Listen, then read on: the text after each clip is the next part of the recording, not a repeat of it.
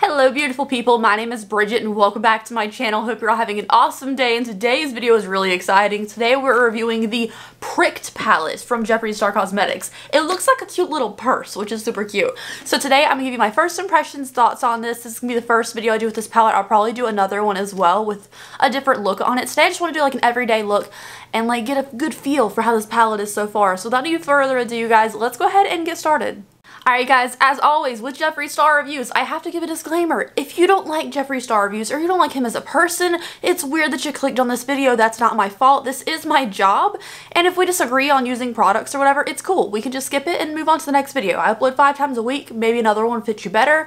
But anyways, I have to give a disclaimer because people always give me crap about it and I know I get crap every time I upload one of these. But it's my job, you guys. Like, you know, this is what I do for a living and this is what brings in the views, so why would I not do it? So anyways, after that, I also want to give a quick shout out to my shop, theopencrypt.com. It is all handmade by me. We have a whole bunch of candles, wax melts, earrings, necklaces, accessories, bath salts, all kinds of stuff. If you want to check it out, I make it by hand and I really appreciate it. So next... now that we're past the disclaimers, I want to talk about the palette. So this retails for $52. It's a lot. Jeffree Star's palettes have gone up since his initial $45 palettes, Androgyny and Beauty Killer, which I guess was Beauty Killer than Androgyny, but regardless, they have gone up in price, but you know, they're fancier and they're bigger, so I'm kind of over complaining about the price tag on these things. I ordered mine from Beautylish because it takes Jeffree Star's website a lot longer to ship things. This is like a faux leather deal and my little handle, again, like I said, like a purse. And this is what the back looks like. When you open up the little purse clasp inside, it's actually beautiful on the inside. Now, we've all seen pictures of it online, I'm sure. But in person, it's a lot more red. Like, it looks like a lot of bronzy neutrals and some oranges online. In person, I would say there's a lot more redness to this than I kind of expected, especially, like, these kind of tones are just a little warmer than I thought they would be online. Now, right off... right off the bat here, I have to complain that there's not a yellow. Why is there not a yellow in here? I feel like this is everything. It would be like a beautiful palette if you gave me one yellow. Now, I'm not complaining because there's this green gold kind of moment going on, which is gorgeous and totally my vibe. But for me, if this was a yellow, which is kind of just like a cream beigey color, this was like a poppin' bright yellow and you stuck it somewhere in the middle of the palette, like maybe like right here or like right here, I think it would make the palette pop so much more. So I'll put a before and after adding in the yellow shade. I'll, I'll Photoshop something up for you because I think that would make the palette, the palette just stand out a lot more. So anyways, I do want to test this out on my face. So let's go ahead and do some swatches before we get started with that. So this first row of three here, the first one's actually called Pale in Comparison, which is pretty cute. I didn't watch the full reveal video just because I feel like it's a lot, you know? Um, but here is the first shades. This whitish shade comes off as like a peachy peaky kind of color, which is really cute. And this shade does come off pretty yellow, which is nice. So we're definitely to use it in today's look. Um, but all three of those swatched out pretty good. A little on the chunkier side for the shimmers, but not bad. Especially since the last palette was missing a lot of shimmers. Also, I haven't noted yet, this is not an eyeshadow palette, technically. It is a pressed pigment palette, so some are eyeshadows and some will be pigments that will stain your eyelids, but it's all part of keeping the formula vegan, so there's that. Here's the second shades, or the second row of shades. Again, a really, really pinky peachy kind of color, just like this one. Um, so both of the shimmers so far, other than the orange one that was in the first row, very pinky peachy, which is kind of cute. Maybe these didn't make it into the Pink Religion palette because that came out not long ago at all and it had a lot of pinks in it but not many pink shimmers. So now we're seeing more pink shimmers in this Pricked palette. I wonder if they were left over from the original, like Pink Religion moment? I don't know. So for the third row, there's the brightest orange in the palette, which I was kind of underwhelmed with how it swatched. Like it just swatched okay, um, but the rest of them look pretty good. I just feel like for it being the brightest orange in this orange themed eyeshadow palette, it should have punched in a little extra, but swatches are not the test of an eyeshadow. So I have some conflicting feelings on this fourth row right here. So this is what this row looks like. It's this one. This one has the most lackluster swatch, which is this one called Double Crossed. It has a scorpion on it. And also has the best shimmer so far, which is Unblunted. It's a really, it seems like a fragile formula of a shimmer, but this swatched gorgeously. It's this shade right here, that Scorpion Double Cross deeper brown shade that swatched out terribly. And I will say, even these two shades felt more dry and didn't swatch fantastically. So the fourth row, this one just, these three mattes felt more on the dry side, but that last shimmer is gorgeous. And also my fingers are being stained already, so um, if you have any plans the next day that involve not wearing makeup, I wouldn't wear this palette the day before. Just saying.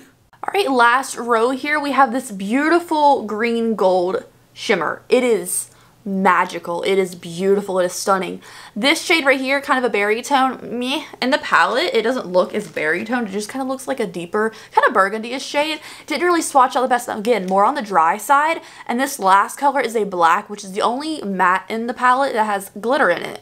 So this matte with glitter swatched okay. I mean, honestly, I'm not too particularly scared of blacks not being the most black in the world because you can build up. And if a black is too pigmented, then it's going to ruin your eye look. So I'm going to go ahead and wash all this off and then we're going to start with the eye look. Alright, so I've washed my hands and put on my eyelid primer, which is Gerard Cosmetics Clean Canvas Base in Fair. Just we have a good base to start off with.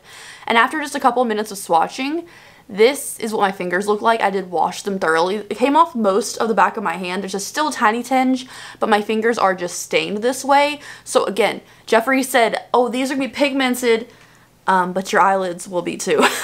so, you know, take it as it is. I just want to give y'all a fair warning. I don't really mind that much because I do wear makeup every day, but most people don't, I don't think. Do some people take days off from makeup? Because I feel like once in a while I do, but like I I don't know. I, I, don't know if everyone does. But let's get started with the eye look now. I'm going to hold the palette upside down so I don't blind you with the mirror. But we're going to get started with this little cutting edge shade. I'm going to put this right underneath my brow bone just so my eyelid primer doesn't crease. But we're going to leave all of this crease and lid open, just primer only. So right off the bat, I took a big fluffy brush with it it's everywhere like it's flying in the air. It really came off the pan. If you do not like kickback, I wouldn't suggest that shade for you. Um, personally, I don't care because I'm never going to use the entire like, I guess people just think it's like a waste of shadow because it's like kicked up in the air, you're not using it. Usually I'll go back into whatever's kicked up on the pan whenever I make my second dip in the palette. Um, and since I'm not going to use up a palette 100% anyways, I don't feel like I'm wasting any shadow. I'm just putting a little bit of that peach right up top here, as you can tell. It's not that pigmented. If you're anything like skin tones deeper than me, I don't really know if you notice it. So moving on now, I definitely want to go into this vitamin C word. No, actually, let's go into Sliver of Sanity. I'm going to take a smaller, like a smaller little blending brush into Sliver of Sanity, which looked kind of like a yellow mustardy tone we swatched it. I want to take this and just tuck it in this inner half of the crease, which is it's really pigmented. Like in the pan, it looks real light. It looks super dark on the eyes, which I'm okay with because I want that yellow. You know, I want the yellow, but it's not very accurate to what you see in the pan. This one's definitely not as powdery as the last shade either, so that's good. Alright, cleaned off that big fluffy blending brush that I used for the first color down. This is what the yellowy orange is looking like. Definitely not a yellow. Like it's swatched kind of yellowy. Definitely more of an orange or a gold on the eyes. I want to now move on to the outer portion. I'm going to leave this alone in here. I want to move on now to papaya latex. Let's do this one. Papaya latex right here. So I'm going to go into this one. A little kickback on the top of the pan. Not bad. Tapping off my excess. And I'm just going to start, since it's a really big brush, I'm just going to start buffering this in the outer half, it does kind of seem stuck where I put it. Um, so if we can tell right offhand, it's kind of stuck there. So I'm just going to add a little extra, tap off the excess, and just try to blur it out myself. This is probably one of those pigment shades. Those are typically a little bit more tricky to blend, but they have the pigmentation you want. Like right off the bat, dipped in there, this was bright orange. Now we have kind of a sunset moment going on, which is really cute. I want to kind of darken up this outer corner, so I want to start building onto what we have now. So I want to go into this double cross shade. It's the one with the scorpion that we swatched, and it just did not look well. No kickback on the pan, which is good. I'm going to tap off the excess. Nothing came off. And what I want to do is I just want to deepen up the outer corner with this shade. Now, I could use a denser brush for this, but I'm really, like, you know, going into this pan really hard and just packing it with that. So I'm to try to get this to do something for me. As you can tell, it has some pigmentation there. Um, it's just not what I would, I would prefer, you know, because this looks really dark. And if I'm like stacking that up there, I would like it a little easier to work with. So this is the shadow I have going on right now. Not the most blended in the world yet, but we're working on it. I want to go into that tiny little, little dense blender now. And I want to go into Slice Me Open. It does look darker than this shade we just used, so I really want to like darken, darken up just a little bit of that outer V. So I'm going in here really heavy, no kickback on the pan, or fall off the brush when I brush when I tapped it. I just want to do this little outer V right here. Now, if you're having a hard time blending, you can hold it from the outer edge of the brush. I really want to like get this in there. So here is the difference with this shade added and without. You can definitely tell it helped. I don't think this shade was very good. Um, so I needed something else to help me, you know, lock it down. Lock the look I want down. Now with that big fluffy brush, I'm going to clean it off. I'm using one of these brush cleaners. I'm going to clean off all the excess product off of it. And I'm going to go back into that first original shade we used, which was like a little light peachy moment. So it's called Cutting Edge. I'm going to go into this one. Tap off our excess since this one was the really powdery one. And I'm just going to blur the edges. Just blend those edges out a little bit kind of leave the inner portion alone because I don't want this kind of orangey golden moment to disappear on us.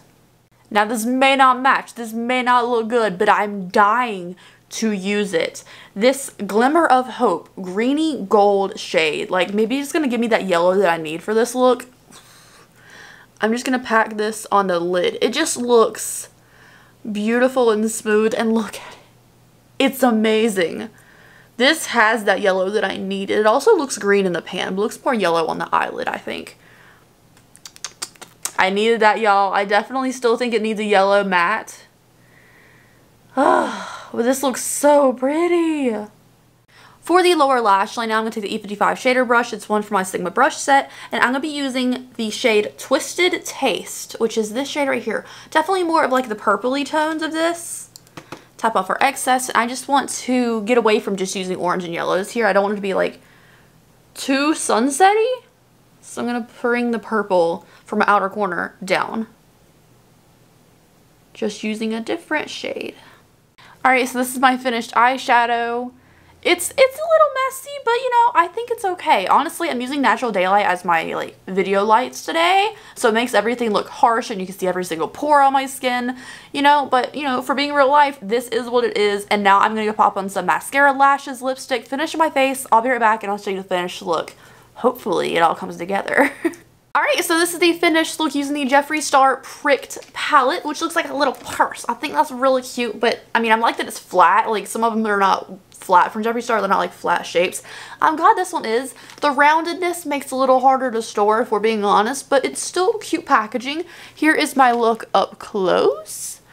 Um, it's just kind of like a sunsetty moment, which I think is very cute and like good for every day. I also added Deep Pockets from Jeffree Star. It's one of the newer liquid lipsticks as the lipstick for today because I wanted something darker. I wanted something a little vampy since I have a lot of gold and lightness on my eyes.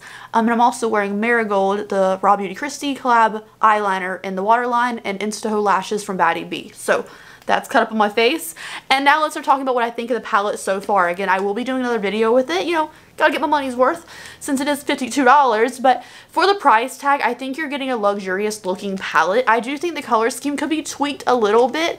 I know some of the shades pull more towards a yellowy or gold moment, but I definitely still think it needs that punch of bright yellow in there. I'm in love with the shimmer. I think it's beautiful. I am not in love with this double cross scorpion shade. I don't think it's very good. Everything else they used was pretty decent. Those are just the two shades that kind of stood out to me. Um, and overall, I think look came out really good and really easy. I will update you guys. Um, I'll insert a clip afterwards if it stains my eyelids really bad, like after I move it today.